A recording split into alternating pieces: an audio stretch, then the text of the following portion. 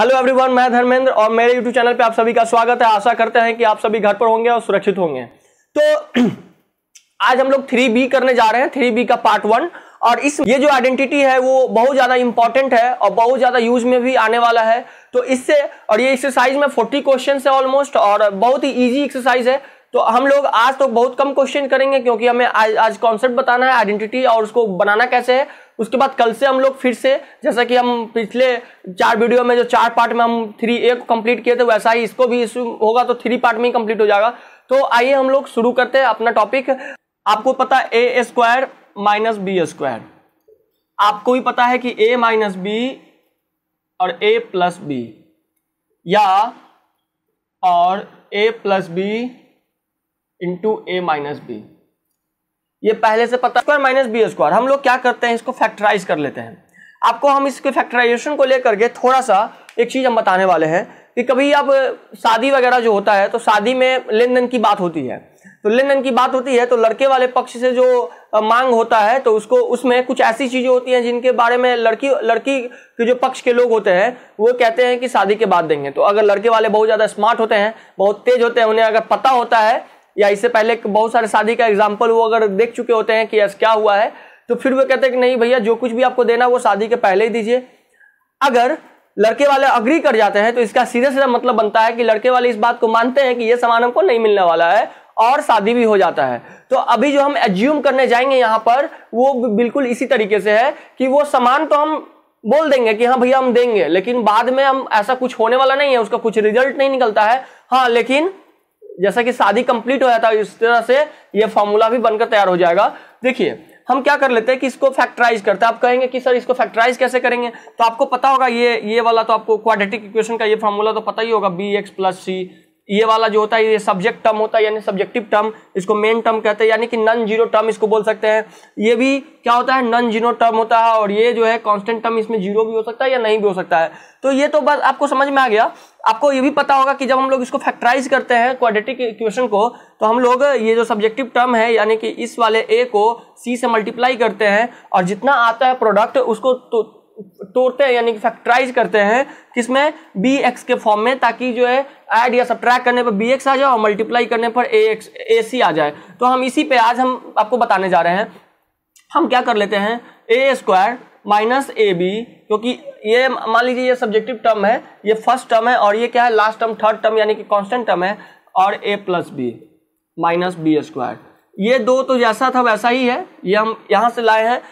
इन दोनों का जो सवाल है, ये हम लोग अभी अभी बताए हैं कि हम लोग मान लेते हैं कि हाँ भाई, ठीक है, आपको हम शादी के बाद देंगे, लेकिन इसका कोई वैल्यू नहीं है। ये आपको भी पता है, अगर लड़के वाले अग्री कर गए तो इसका कोई मतलब मतलब नहीं निकलता है।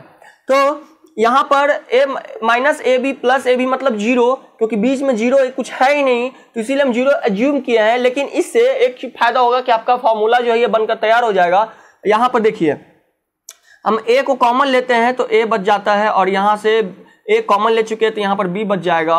और क्योंकि ए माइनस बी फिर से आना चाहिए तो हम लोग यहाँ पर बी को कॉमन लेंगे प्लस बी को तो यहाँ पर ए माइनस बी फिर से आ गया। तो आपका formula as you can see on the board आप देख सकते हैं कि फॉर्मूला बन करके तैयार हो गया। ये फार्मूला बहुत ही मुश्किल से बहुत बच्चों को अभी तक क्लियर नहीं हुआ कि ये फार्मूला बना कैसे है। इस पर कोई ध्यान भी नहीं देते हैं, कोई नोटिस नहीं करना चाहते कि ये कैसे बना हुआ है, लेकिन ये ऐसे बनता है। अब इस पे हम लोग सवाल करेंगे तो आइए हम लोग क्वेश्चंस करते हैं। आपको क्वेश्चंस में हम बताएँगे कि ये फार्मूला अप्लाई कैसे करते हैं। एक्सरसाइज थ्री का जो पार्ट वन में जो कुछ क्वेश्चन और ये जो कॉन्सेप्ट बताए हैं A square minus B square इसी फॉर्मूला पे ये सारा जो है बनने वाला इसी आइडेंटिटी के बेस पे। तो सबसे पहले आपको दिख दिख रहा होगा क्वेश्चन नंबर वन और क्वेश्चन नंबर टू हम लोग अभी इस वीडियो में कुछ क्वेश्चन करेंगे। Nine X square minus sixteen Y square तो पहले इस क्वेश्चन में देखिए, आपको लग गया होगा, बहुत बच्चे दिमाग में बैठा लिए होंगे, सर, ये तो सामने सामने दिख रहा है ए स्क्वायर और माइनस बी स्क्वायर और बच्चे क्या करेंगे ए प्लस बी और ए माइनस बी फॉर्मूला पे बैठा देंगे। लेकिन इसमें ऐसा कुछ नहीं आप देखिए, ध्यान से देखिए, नाइन और एक्स स्क्वायर है। तो आप आप बताइए कि नाइन एक्स स्क्वायर यानी कि नाइन पे भी स्क्वायर और एक्स एक्स पे भी स्क्वायर है? ऐसा बिल्कुल भी नहीं है, क्योंकि तो एक्स के सामने स्क्वायर है और ऐसा अगर रहता तो आप कह सकते थे कि सर, ये नाइन एक्स स्क्वायर है, यानी कि नाइन एक्स का होल स्क्वायर है। लेकिन ये ऐसा है नहीं, होल स्क्वायर मतलब पूरा पर। ये सिर्फ़ किस पर स्क्वायर है? तो एक्स पर। और यहाँ पर भी सिर्फ़ वाई पर है। ये सिक्सटीन पर स्क्वायर नहीं है। तो सिक्सटी पता लगाना हमको, क्योंकि हमको स्क्वायर नहीं होगा, तब तक फॉर्मूला तो अप्लाई होगा नहीं। तो हमको पता लगाना है कि आखिर में ये जो नाइन है, वो किसका स्क्वायर है? तो नाइन जो है, आपको देख सकते हैं थ्री का स्क्वायर है। तो ये थ्री का स्क्वायर और एक्स स्क्वायर तो जैसा पहले से वैसी फिर यहाँ पर भी अब देखिए सिक्सटीन किसका स्क्वायर है? सिक्सटीन फोर का स्क्वायर है? तो फोर का स्क्वायर और ये वाई का स्क्वायर जैसा वैसे ही रहने देंगे। अब आप समझिए थ्री पर भी स्क्वायर है, यानी कि बेस अलग अलग है, लेकिन पावर जो है वो क्या सेम है? तो इन दोनों बेस को एक साथ मल्टीप्लाई हो जाएगा, और पावर जो क्योंकि ये बेस डिफरेंट होता है, पावर सेम होता है तो बेस मल्टीप्लाई में हो जाता है। आपको पहले भी लॉज ऑफ़ एक्सपोनेंट जब पढ़ा रहे थे तो बताए थे। तो एक्स थ्री और एक्स में मल्टीप्लाई हो गया, और जो पावर है, वो सेम रह जाएगा। और यहाँ पर भी बिल्कुल फोर वाई हो जाएगा, और पावर जो है, वो बिल्कुल सेम रह जाएगा। अब आप इस फॉर्मूला पे बैठा सकते हैं। ए स्क्वायर बन गया, ये ए वाला रूप हो गया, और ये बी वाला। A square minus B square तो इसीलिए according to identity A square minus B square is equal to A plus B A minus B ऐसा लिख देते हैं तो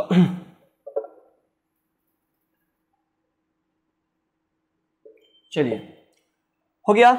अब हम इस पे क्या करेंगे? Three X square minus four Y square is equal to A है ए प्लस बी तो three X plus four Y और three X minus four Y A plus B और ए माइनस बी फॉर्मूला बन के ये, यही आपका answer हमको बनाना तो चाहिए यहाँ से, लेकिन क्योंकि यहाँ पे स्पेस है तो हम इस क्वेश्चन को यहाँ पर कर लेते हैं।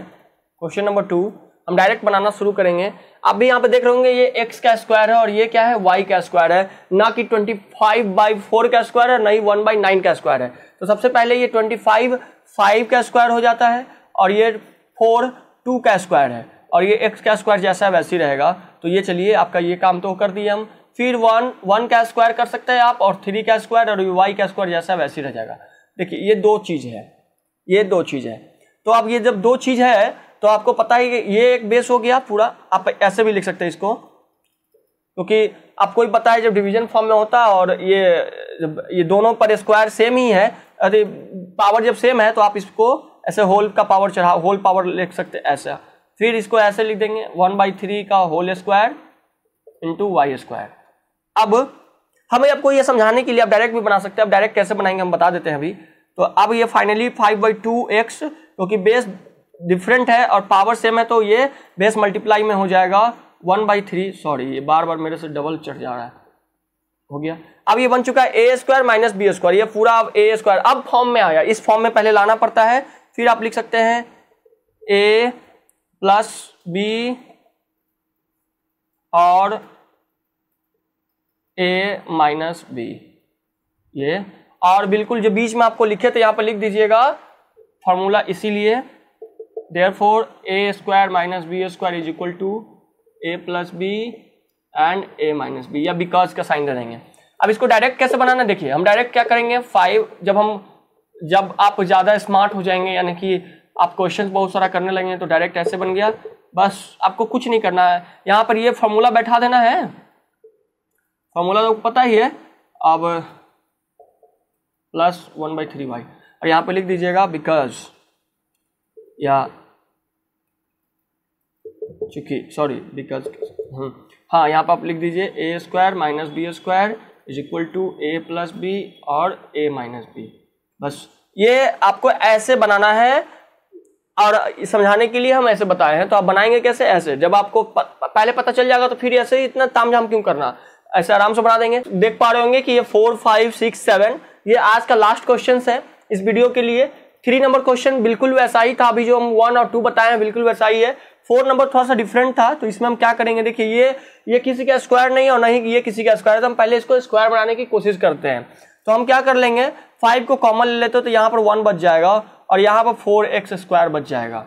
तो आप देख पा रहे होंगे कि यहाँ पर फोर एक्स स्क्वायर का मतलब क्या हुआ कि सिर्फ़ एक्स का स्क्वायर है फोर का नहीं है। तो इसको भी पहले हम लोग वन का स्क्वायर ऐसे लिख सकते हैं और टू एक्स फोर किसका स्क्वायर है? टू का। तो आप इसको ऐसे लिख दीजिए। तो फाइव हो गया A square minus B square. तो अब हम यहाँ पर लिख सकते हैं ए ए प्लस बी और ए माइनस बी। ये आपका बन करके तैयार हो गया। यहाँ पर देखते हैं, इस क्वेश्चन में क्या करना है? इसमें भी बिल्कुल ऐसा ही है, टू भी किसी का स्क्वायर नहीं और थर्टी टू भी नहीं। तो टू को कॉमन ले लेंगे और X rest by four minus sixteen हो जाएगा। क्योंकि अब फिर इसको भी फैक्टराइज करेंगे, तोड़ने की कोशिश करेंगे। अब देखिए, यहाँ पर आप एक्स का स्क्वायर लिख सकते हैं। माइनस ये फोर का स्क्वायर है। अब देखिए तो ये तो ये पूरा ए का वैल्यू कैरी करता है और ये भी बी का। तो ए स्क्वायर और माइनस बी स्क्वायर तो यहाँ पर हम लोग क्या कर लेंगे? ए माइनस बी और ए प्लस बी ये तो हो गया। फिर ये देखिए, आप यहाँ पे देख पा रहे होंगे कि ए ए स्क्वायर और ये भी बी स्क्वायर बनने वाला है। तो इसको बनाएँगे। देखिए ए स्क्वायर और टू का स्क्वायर और ये तो आपका एक्स स्क्वायर प्लस फोर जैसा है, वैसे ही रह जाएगा। चलिए, अब इसको भी कर लेंगे। A minus B A plus B और ये जैसा है आपका, वैसा ही रह जाएगा।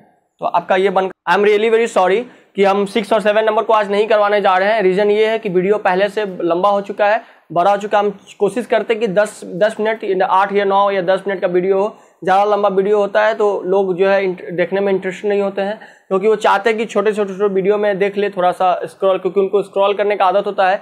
तो इसके लिए आज के लिए इतना ही। कल हम लोग ज़्यादा से ज़्यादा क्वेश्चन करेंगे, उसके बाद फिर अगले वीडियो में। तो ये जल्दी खत्म हो जाएगा, घबराने की कोई बात नहीं, आप बिल्कुल भी, आप बनाएँगे आगे, आपका बन जाएगा। आसान है, बस कॉमन निकालने तो आपको आ ही चुका है। और उसके बाद किसका स्क्वायर ये पता कर लेना है, और A square minus B square का फॉर्मूला बना देना है। तो थैंक यू सो मच